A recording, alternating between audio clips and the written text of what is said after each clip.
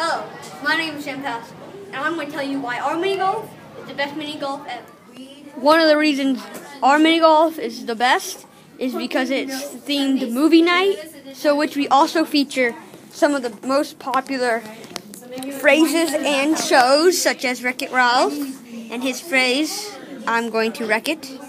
And then we also have Despicable Me in honor of the new Despicable Me coming out soon to theaters near you. And then in honor of the new Iron Man, we have I Am Iron Man right in front of the hole. Another really cool reason why our mini golf is the best ever is because we have this really cool mountain, which you have to hit the ball from there through the mountain.